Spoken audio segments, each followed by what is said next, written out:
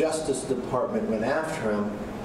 Well, Hunter Biden received more money from the same foreign C- CEFC company that this informant did, much more. Um, so it would only make the case stronger that the government really didn't look into Hunter Biden.